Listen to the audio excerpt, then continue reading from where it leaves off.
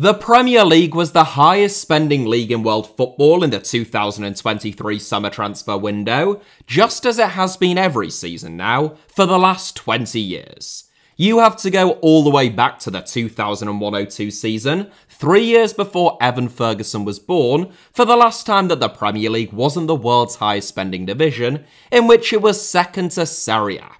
That season, Juventus sold Zinedine Zidane and signed Lilian Thuram, Pavel Nedved, and Gianluigi Buffon. Serie A had a total spend of 816 million euros that season and a net spend of 54 million. The Premier League, by comparison, had a total spend of 2.8 billion euros this season and a net spend of 1.3 billion.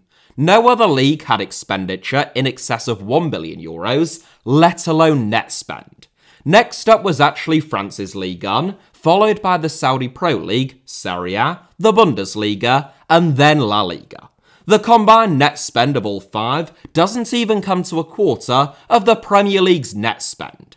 So where is all of that money going? Well, over £200 million of it went on Declan Rice and Moises Caicedo alone. Meanwhile, Josko Gvardiol, Kai Havertz, and Rasmus Højlund cost about the same again. But, much more importantly, which teams had the best and worst transfer windows? Well, it's funny that you should ask actually, because that's exactly what this video is all about. Here is how I would rank, and yes, you will disagree with me, and that's all part of the fun of it all 20 Premier League teams' transfer business in the 2023 summer transfer window from worst to best. 20th, Everton. I take absolutely no joy in piling yet more misery on Everton, but I'm afraid that I have to rank them in dead last.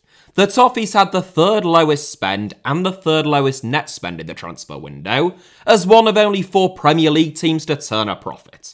That probably isn't great news from an Everton fan's perspective, though, off the back of successive seasons in which they only narrowly avoided the drop, and with a general consensus that significant surgery was required this summer to prevent a similar fate from befalling them this season. It's not all bad for Everton. Portuguese centre forward Beto, signed for 30 million euros from Udinese, looks to be a real handful, and attacking reinforcements were desperately needed, given Dominic Calvert-Lewin's persistent injury problems. If nothing else, he surely can't be any less effective than Neal Maupay, who left Everton on transfer deadline day to rejoin his former club Brentford on loan. Moise Kean, Thomas Cannon, and Ellis Sims also departed, but losing Alex Iwobi is the biggest blow, who was not only a key man at Goodison Park, but has joined a direct relegation rival in Fulham. Ultimately, a 19 year old Youssef Chermiti, 38 year old Ashley Young, and the lone arrivals of Arnaud Danjuma and Jack Harrison, twinned with Iwobi's departure, doesn't inspire enormous confidence about the campaign ahead. Profit and sustainability regulations have weighed heavy on Everton in recent years, following reckless and at times brainless spending when Farhad Moshiri first bought the club. There were unlikely to be any blockbuster arrivals at Goodison this summer for that reason, and indeed there weren't. I think every one of Everton's relegation rivals has recruited better than them, albeit only very narrowly in the case of the club up next, and for that reason I fear for them, and they have to get us started. 19th, Fulham. If Fulham hadn't signed Alex Iwobi on transfer deadline day, making him their marquee summer rival and depriving Everton of one of their better players, then the positioning of the two teams would have been reversed in this list. It would be fair to say that it has been a tumultuous summer at Craven Cottage, and I don't just mean because of the announcement of their new £3,000 season tickets. It started with talk of Marco Silva and Aleksandar Mitrovic heading to Saudi Arabia, and while Silva turned an offer down, which was probably the biggest positive of Fulham's off-season, along with keeping hold of Joao Palhinha, Mitrovic's head was turned. Last season, Mitrovic's 14 goals fired Fulham to a 10th place finish in their first season back in the top flight. Their next highest scorer scored just 5 goals. Raul Jimenez is the man tasked with replacing Mitrovic, a job that he might well have been up to a few years ago before suffering a devastating skull fracture, but one which will present an almighty task for the Mexican now. Calvin Bassey and Timothy Castagne are both good signings. Meanwhile, Fode Ballo-Touré brings a lot of experience and pedigree on loan from AC Milan. Overall, though, it has been a difficult summer for Fulham, who have lost their star man and top goalscorer and failed to replace him with anyone of a similar calibre. Despite finishing 10th last season, then, you feel as though survival by any margin this season would represent a successful campaign this time around. 18th, Burnley. This seems very harsh, since I think Burnley have made some good signings, so I ought to stress that whilst Everton and Fulham were safely in 19th and 20th, there was very little to split about five teams between 18th and 14th. I took a little bit of heat before this season began for saying that Burnley, whilst the best equipped out of the newly promoted teams, weren't guaranteed anything this season and would most likely be in a relegation scrap. Three games and three defeats into the season, now it feels as though everyone has U turned and has suddenly written them off. I don't think that that is right. Burnley's first three opponents, Man City, Aston Villa, and Spurs, were always likely to be tough to get anything from. But it does feel as though Burnley have been a little bit scattergun in the transfer market. Despite winning over 100 points in the Championship last season, Burnley have signed an incredible 15 players this summer, 13 on a permanent basis, and 2 on loan. Some of them, like Sander Berge and particularly Han-Noah Massengo on a free transfer from Bristol City, look like really shrewd additions. Others, like James Trafford and Aaron Ramsey, may well be great players in the future. In fact, I suspect that they will, and the same is actually true of Massengo, but I'm not sure how much they have improved Burnley right now. If Burnley can stay up this season, they have signed some very young and promising players who should only improve. I just fear that maybe they looked a little too far ahead and didn't target signings who, with a more than 100 million euro net spend, could have all but guaranteed them survival. 17th, Wolves. I made a whole video about Wolves' chaotic preseason preparations, issues relating to spending regulations, and my suspicion that Julen Lopetegui might walk. 14 hours later, he did just that. Since then, however, Wolves have signed four new players, one of them on loan, in addition to losing Matheus Nunes to Manchester City for £53 million. Nunes joined Ruben Neves, Nathan Collins, Conor Coady, Raul Jimenez, Joao Moutinho, and Adama Traore in leaving Molineux during the summer window, which is an enormous exodus and sense of churn for a club that only finished 7 points above the drop last season. Aside from the formality of Matheus Cunha and Boubacar Traore's low moves becoming permanent, Wolves have signed exciting Strasbourg midfielder Jean-Ricner Bellegarde, Uruguayan centre-back Santiago Bueno, Paraguayan teenager Enzo Gonzalez, Tom King and Matt Doherty on free transfers, and Tommy Doyle on loan from Manchester City. Wolves feature so low down because they lost a key man in Nunes, and I still don't think that they've addressed their most glaring weakness, which is at centre forward and a lack of goals. 16th, Crystal Palace. I like the look of the current Crystal Palace team, and unlike some people, I don't think that they should have too many relegation concerns this season. But I don't think that that is the result of outstanding summer recruitment. Aside from anything else, Palace barely signed anyone. Marquis signing Matheus França is an exciting addition to the Premier League from Flamengo, though he is still only 19 years old. Dean Henderson will rival Sam Johnstone for, and I suspect eventually take his number one shirt. Rob Holding is a solid utility player, at a good age and with good pedigree who arrived for a very modest fee, and Jefferson Lerma is a fantastic addition on a free transfer from Bournemouth. More important than any of Palace's arrivals, however, are the players that they were able to keep hold of. Wilfried Zaha finally left the club in a move to Galatasaray, but Marc Guéhi, Cheick Doucouré, Michael Olise, and Eberechi Eze were all held on to despite significant interest in them.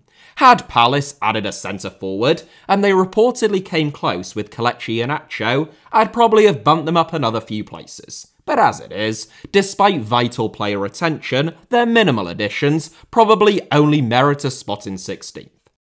15th, Manchester United. Will this be controversial? Probably. It is Manchester United. But I think it's reasonable. Manchester United spent over 200 million euros in the summer transfer window, but the key question to ask, as with every team, is how much have they actually improved? Jonny Evans has rejoined the club on a free transfer. Sofyan Amrabat has finally been signed on a 10 million euro season long loan deal. Mason Mount has been prized away from his boyhood club Chelsea. Rasmus Højlund was the Red Devils' most expensive addition. And Champions League finalist Andre Onana has been brought in from Inter Milan, along with Altay Bayındır from Fenerbahce, as his number two. At the opposite end, Anthony Elanga, Dean Henderson, and Fred have all departed. The first two for not exactly enormous fees given their potential, and I really thought that off the back of his outstanding loan last season, goalkeeper Matej Kovar would command a fee of more than 5 million euros. Ultimately, the success, or lack thereof, of Manchester United's summer window rests primarily on the shoulders of a 20 year old Rasmus Højlund, who scored 9 goals in 32 games for Atalanta in Serie A last season. I still think that centre forward is a problem position for Erik Ten Hag, and in an ideal world, Højlund would be brought in as an understudy or at least an alternate, a bit like Julian Alvarez at Manchester City, rather than as the main man with immediate enormous expectations. I'm not entirely convinced that Manchester United have done enough to improve upon a third place finish last season, hence 15th. 14th, Chelsea. By far the hardest team to judge in this list, Chelsea have once again spent the earth in the summer transfer window and signed enough players to name a brand new starting 11. So I'll just try to lay out the pros and cons, which resulted in me putting them 14th. In terms of the positives, I think that Moises Caicedo is capable of becoming one of the best midfielders in the world. I think that Romeo Lavia is fantastic, and adding the two of them to Enzo Fernandez ought to give Chelsea, emphasis on ought to there, one of the best midfields in world football. The likes of Christopher Nkunku and Nicholas Jackson are also both, in isolation I think, very good signings. The problem, of course, is Chelsea's enormous squad, scattergun recruitment, and absolutely wild spending. Nearly half a billion euros was spent this summer, on top of the billion that went on new arrivals last season, and Chelsea's squad doesn't reflect either their extraordinary spend or net spend during that time. They've also lost Lewis Hall for about half what they paid for Marc Cucurella, a set of deals which I suspect history won't be kind to, and they've ended up, after spending over 1.5 billion euros, with Brighton's number 2 last season as their new number 1. All in all, as much as I like Caicedo and Lavia, Chelsea paid fair value for them and then some, and the weaknesses that still exist within their squad means 14th is about as generous as I can stretch to. 13th, Sheffield United. We have to be honest about Sheffield United, because a few weeks ago, you'd have had them dead last in this list. In Ndiaye and Sander Berge, the Blades sold arguably their two most talented players following promotion, certainly in the case of Ndiaye, as well as losing their two outstanding Manchester City loanees from last season, whilst only having signed totally unproven Premier League players. What a difference a week can make, though. The signing of Cameron Archer, I think, is a masterstroke, and I wouldn't even be surprised if he hit double figures this season, which would be a monumental achievement in this team. Gustavo Hamer, likewise, is a fantastic addition, not just in terms of preparing for the worst case scenario of relegation, but actually I think he is more than ready for the step up. Throw in Tom Davies on a free transfer, Luke Thomas, and crucially, one of those two loanees from Manchester City last season, James McAtee, returning, and Sheffield United have given themselves a fighting chance. I still think that it'll probably be beyond them, but their window has been nowhere near as disastrous as it looked like it might be at one stage. 12th, Nottingham Forest. I can't go through all of Nottingham Forest signings, obviously, a bit like with Chelsea, because we would be here for hours. Inevitably, when a team is so active, as Forest were last season as well, there will be hits and misses. My prediction is that Anthony Elanga, Gonzalo Montiel, and Andrey Santos ought to be successes, the latter two having been signed on loan, and if Forest can get anything like the best out of Callum Hudson-Odoi, he will be one of the bargains of the season at just 3 to 5 million pounds subject to add-ons from Chelsea. This is a man, after all, who Chelsea once rejected a £70 million bid for from Bayern Munich. On the flip side, Forest lost Brennan Johnson very late in the day to Tottenham, albeit for a healthy fee. I still think their squad is far too bloated for a team that isn't in Europe, and it may prove difficult for Steve Cooper to keep everyone content. And is a 31 year old Chris Wood still worth £15 million off the back of just four goals in 35 games over the last 18 months at Newcastle United? I suppose he is a proven and capable deputy for the outstanding Taiwo Awoniyi, but all in all, Forest feature in mid-table. 11th, Liverpool. As with 18th to 14th, there isn't a great deal to split 13th all the way through to 7th.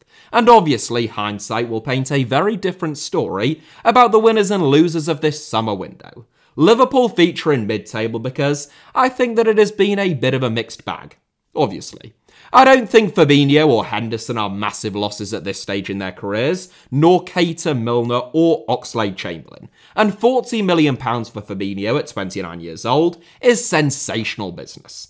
In Dominic Szoboszlai, Alexis Mac Allister, and Ryan Gravenberch, I think Liverpool have upgraded their midfield, particularly in a creative sense. The question mark surrounds their defensive capabilities, and I don't think it's any great secret that Wataru Endo wasn't Liverpool's first choice as a midfield sitter. Make no mistake, Endo is a temporary stopgap after they missed out on Caicedo and Lavia, and had Liverpool signed either of those two, that'd probably propel them all the way up to 7th. If they lose Salah over the next couple of days, I'd probably put them in 18th. It is fine margins. 10th.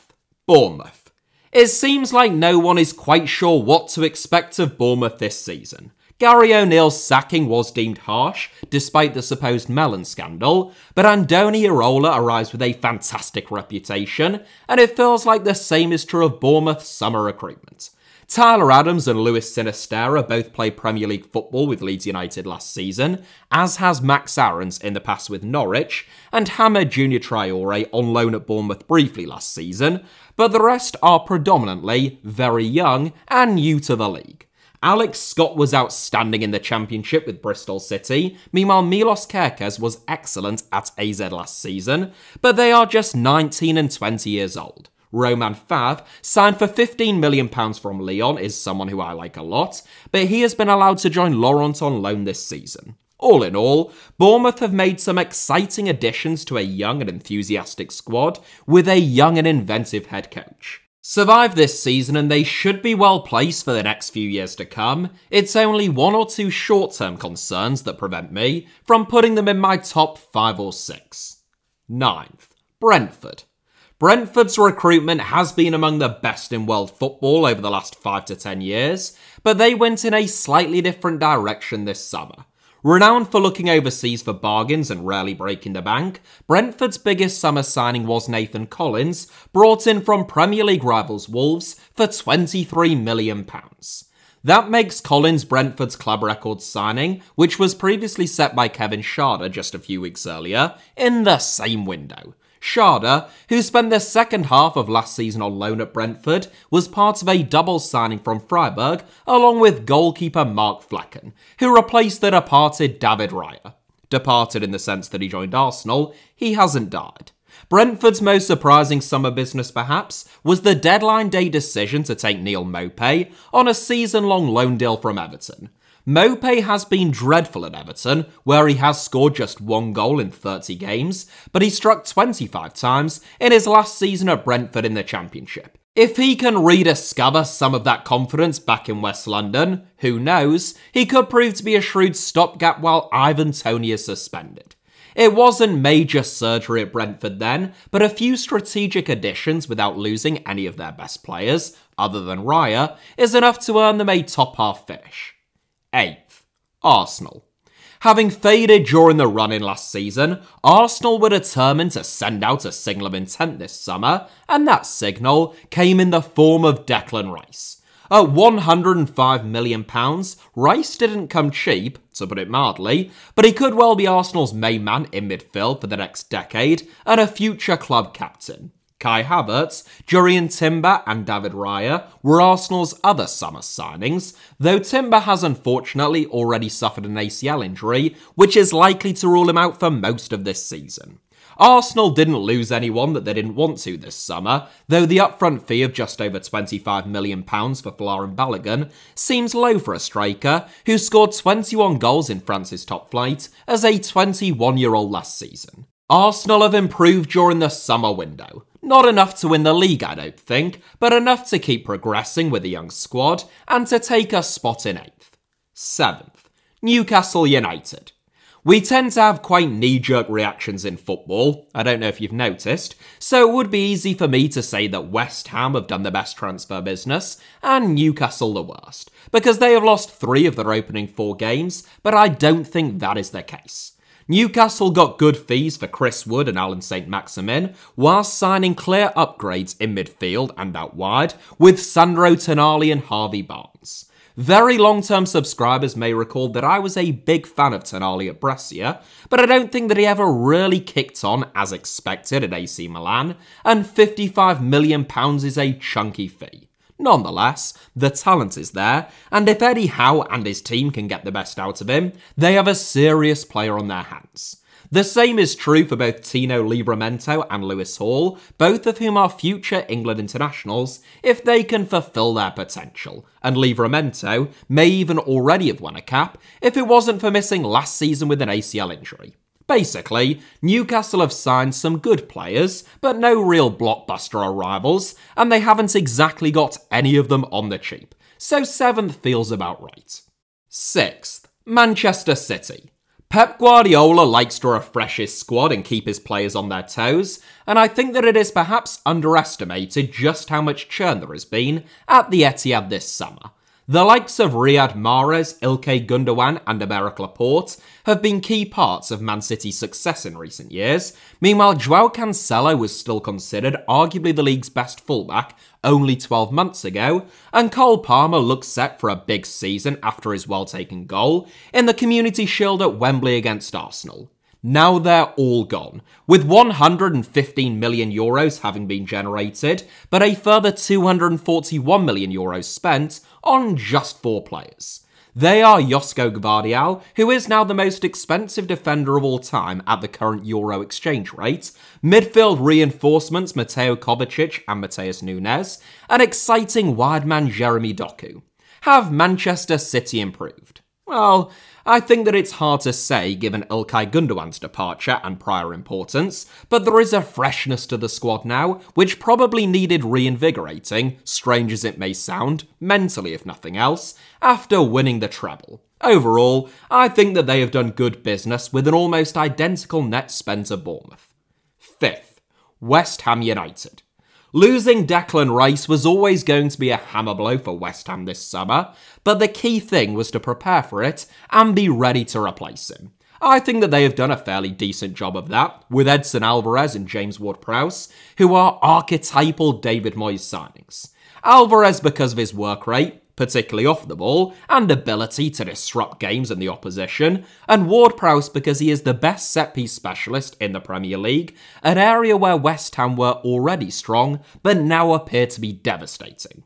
Throw in marquee signing Mohamed Kudus, who was a real coup for West Ham and had plenty of other interest in him, and Konstantinos Mavropanos, who loves to defend in a low block, and I think West Ham are a better team now, despite losing Rice, than they were when they won the Europa Conference League last season.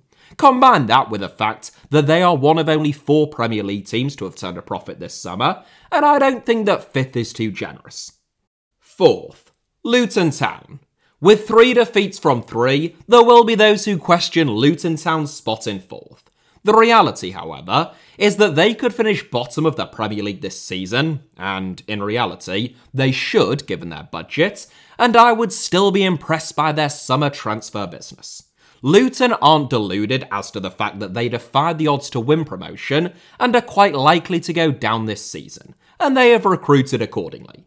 Nine out of their 11 summer arrivals, including loan signings, are players who have already proven themselves in the Championship. If Luton do go down, then, the likes of Ryan Giles, Tahith Chong, and Marvelous Nakamba are exactly the types of players and characters that they will want around to try and take them straight back up. What's more, though, they've also targeted players with a point to prove on modest wages for modest fees with huge upside and very little downside. I think they've done a very shrewd job with a long term outlook, which should serve them well, whatever happens this season.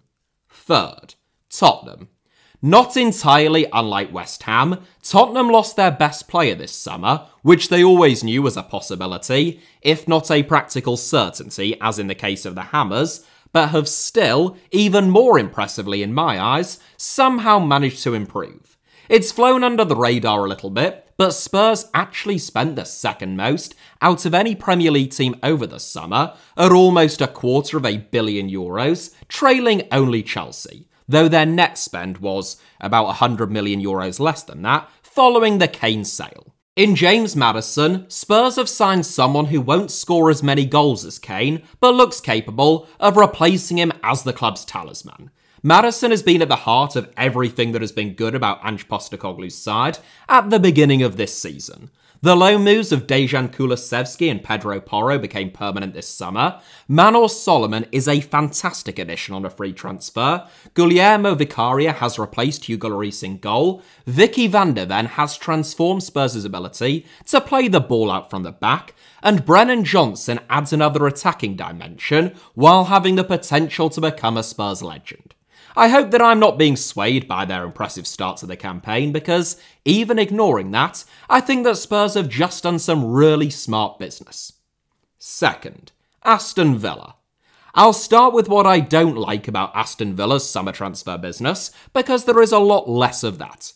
I think Cameron Archer is sensational, and not only do I think that they've sold him far too cheap, I think that they should have fought tooth and nail to convince him to stick around and compete with Ollie Watkins.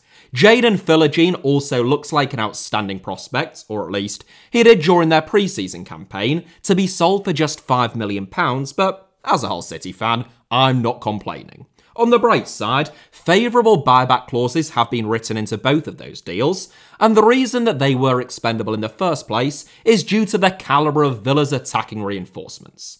Moussa Diaby is a phenomenal coup, even for more than £50 million, and I suspect that the rich six or seven may live to regret not hijacking that deal. Pau Torres and Clement Lenglet are tailor-made Unai Emery-style centre-backs, Torres having played under him already before, Youri Tielemans on a free transfer is just a no-brainer, and Nicolo Zaniolo has the potential to be a real game changer at Villa Park. Overall, with a net spend of just 60 million euros, which puts them slap bang in 10th among Premier League clubs, I think Villa have made huge strides forward and ought to be looking to better or at least equal their 7th place finish from last season while going deep in Europe. First, Brighton and Hove Albion. I know, I know, it is very predictable, but that doesn't mean that it isn't still right. Brighton spent just over 100 million euros this summer, whilst generating almost 190 million euros in player sales, making them the most profitable team in the Premier League in terms of player trading. It's an all too familiar tale for the Seagulls, who have grown used to repeatedly selling some of their best players over the last few years, whilst replacing them with relatively obscure and affordable targets identified by their scouting network with the help of Tony Bloom's Starlizard data harvesting software. It has served them very well up to this point, and there is little to suggest that that changed this summer. Alexis Mac Allister and particularly Moises Caicedo are big losses in midfield, and even Brighton will struggle to improve in that department, at least in the short term, despite the recruitment of Carlos Baleba, Mahmoud Dahoud, and James Milner. In goal, though, Bart Verbruggen already looks to be a major upgrade on Robert Sanchez at the age of only 21. Joao Pedro has all the ability in the world if he can just be properly nurtured. Igor Julio gives Roberto De Zerbi great options and flexibility in terms of centre backs. And Ansu Fati is the most eye catching name of them all. Were it not for injuries, I've long suspected that Fati would be one of the best players in the world by now, and although his Barca career had stalled to a certain extent, few clubs maximise their players' talents and potential better than Brighton. The only negative with Fati perhaps is that there is no option to make his loan move a permanent one in his deal. Overall, though, Brighton turned a massive profit, arguably improved the balance of their squad as a whole, and signed several young players who will, inevitably, be sold for hundreds of millions, if not billions of pounds, in the not too distant future. Probably to Chelsea. That is it for today's video, but thank you all very much as ever for watching. Hit the like button if you enjoyed it. Let me know your thoughts down below in the comments, and of course, goes without saying, make sure that you are subscribed and have notifications turned on for both this channel, HITC Sevens, and also my second channel, Alfie Potts Harmer, both of which should be on your screens now, along with a couple of videos that you might enjoy watching after this one. You can also find me on Twitter or on Instagram via the username at HITC Sevens on both, and all of the links to all of those things that I just mentioned and more can be found in the video description below as well.